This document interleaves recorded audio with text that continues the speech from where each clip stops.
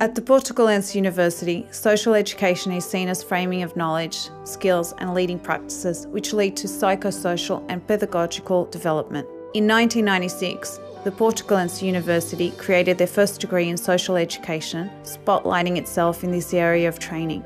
We have established long and virtuous relationships, carefully selected our social partners and training framework, looking to introduce students to new working opportunities both nationally and internationally.